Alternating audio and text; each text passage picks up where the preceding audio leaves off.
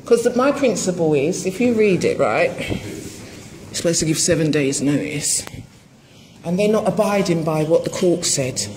So, because he's so rude, he's an old gentleman. He knows what the rules are. John, right? He knows that he's supposed to give me notice. We've had notice. No, You were told so, sorry, opposition play, when play, stay neutral. 17th of July. Stay neutral. No, no, I'm I'm just the. Yeah. Those Well, the facts is there on the, on the wall here that it says on the 17th of July, I was advised, and it's paragraph four, before you get to anything else, that they're supposed to give me notice. You were at the court when that was issued. That They- was notice. No, seven days. They need to make an appointment. They No, can't. don't- they don't They can't just. Turn, they just can't. They say appointment on can't because they have to give me the option of letting them in. They don't have the option of just coming and knocking down my door. is absolutely You nothing. were at Okay.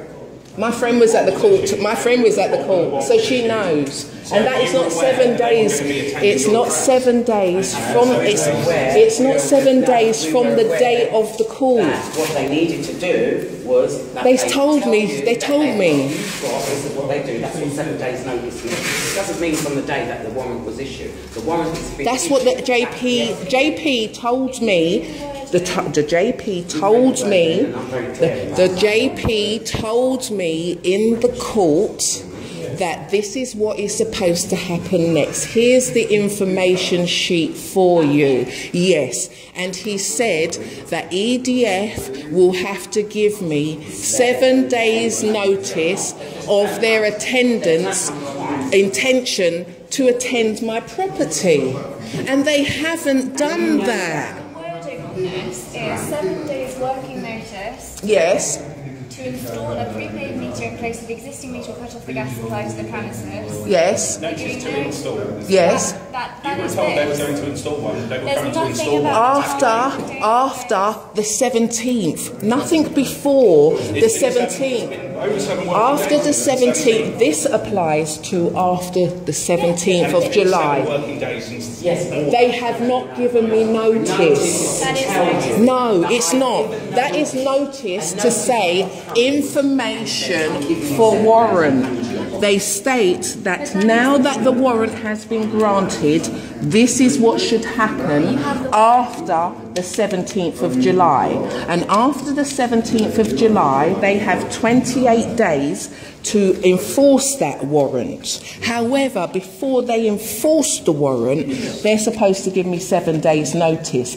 They're supposed to give me two days' notice if they're going to disconnect the supply so that I know or I can make other arrangements to have a gas supply. They need to give me notice. It says it here in black and white. Were you at the court And even if they said, oh, I've sorry, already, I've already, made a I've already acknowledged that. She might What I'm saying, what I'm saying is, right? Were This, you at court when the warrant was issued, madam? yes, I was at court. Did you, did you watch the whole proceedings?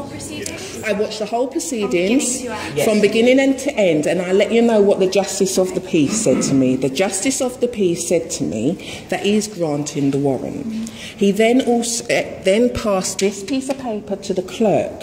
The clerk handed it to me. The Justice of the Peace then said that this is the information for you as to what's going to take place next. He also confirmed that they are supposed to give me seven days' notice before they're going to attend my property. That's on the. No, the Justice of the Peace said that. Or just it kind of just? It's verbal. I've tried to get the case notes, Yeah. but I can't, so that I could have it here today to prove All to we can go on you. is this and the warrant Yeah. itself. That, that's all. Yeah, and and and it actually states on here seven days notice to exchange. They use the words exchange a is nothing meter. about any set appointment. It doesn't require that doesn't require them to give. That requires me seven days notice. You've got to inform the person, I'm giving you seven days notice as of today, and it's seven days from there. When they came, when they came There on was- Tuesday, They just turned said, up. They just turned up. They could have said on Tuesday, all right, as of from today, it's seven days They, re- notice. they left and they rescheduled to come at a time. Because Because because I've now I, re, I I couldn't find this on Tuesday. And I was remembering the two days. Yeah, so that's what I was quoting. Right, Right? So now that they've hang on, yes, now that they've come, this gentleman over here. I will stop this and play the video recording. I was very amicable with him. I said, before we go any further, I'd like to draw your attention to this. I said to him, You're a very mature gentleman. You've been in the job for many years. You know you're supposed to give me notice. He turned around, I'm not discussing this. The warrant here. I said, You're not taking no notice of this piece of paper.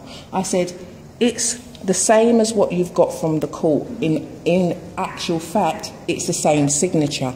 So you can compare with the signature they've got on here that this has been issued by the same person. So you wanted someone tell you this is your seven days notice, we will be coming. That's what seven days notice means. Putting someone on notice means you give them notice. But is it- I haven't been given notice since the 17th of July. If you if you just read here, Yeah. What is it? by giving no less than seven working days. So Yeah. that implies seven plus working days. So Giving no less. They have not given me any notice whatsoever. Giving no less than seven days' notice. They have not given me any notice whatsoever that they plan on attending my property. They did have that letter in May. We've got the letter. I haven't. No, no, no. They May need. have No, May. This is after we're July. It's no, no. The. Justice of Peace has told me and given me this. If the seven days' notice has already been given, then they have no need to give me this because they have the right just to turn up. They have given me this to let me know what my rights are, my civil rights are. And as you just read it, it says no less than seven days' notice, which means they have to give me notice of their attendance. They have not If given me that smart and wasn't thing. being ignorant when they came Tuesday, they could have said to her Tuesday, "We're giving you seven days' notice from today." She didn't need to say anything to them because they need to know their. They need to know their their job. You So I'm standing here on principle. I had made up my mind already from last night when I find this. I'm going to speak to the gentleman. And if the gentleman is amicable with me, they would have come in already and they would have left. He think he can bully me. He's not bullying me. So here we are now, and I'm standing on the principle of what I've been given by the JP. So if you're saying that if the gentleman had been. If he had been amicable, I would have happy to let him in. No, brethren, brethren, brethren, do not apologize. No, no, brethren, no, brethren, no, brethren, no, brethren, no, brethren, mm-mm, brethren, no, no, no brethren. Him. No, you you you was here the last time, innit? You- Yeah, and you was you kept brethren, brethren, brethren. Thank you.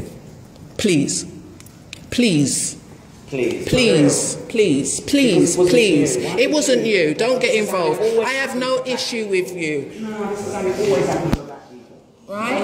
It's principle of the matter, right? It's principle of the matter. The man's rude, right? He's old school. He's supposed to know how to deal with me. I'm 47 years of age. You don't come and bully me up. I'm not no young female. I'm born in this country. No. Tell him to come and apologise to me. Because we give you the same. I know. You're not going to give it back.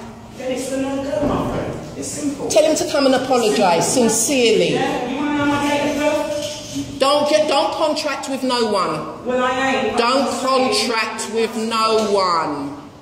You know, it's quite simple. Don't contract with anyone, Susan. You contract with them, you're giving permission for them to act. He just wants you on his clothes. Tell him to come and apologise. That's all he had. Tell him to come and apologise for not doing his duties properly and he can come in. And that's so simple. There we go. Solution. Come and apologise sincerely, properly, for you not abiding by what the court said, by you not following your job details and committing gross misconduct. You come and apologise, John. And you can come in.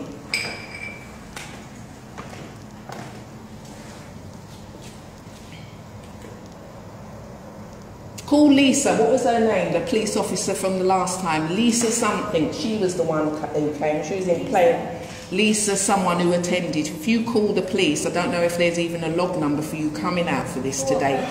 Because she was very, she was very good. We had a very good conversation, me and Lisa. She was, yeah, I know, but she, we had a very good conversation. She was a very good police officer. She's old school. She pulled me away from the young ones who wanted to escalate something, and we had a very decent conversation. Bring back someone who's, who's old school, a police officer.